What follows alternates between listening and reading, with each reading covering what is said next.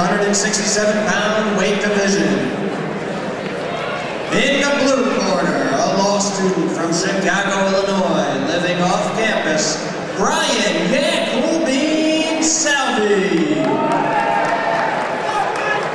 In the gold corner, a law student from Bocog, New York, also living off campus, Richard Mr. Glass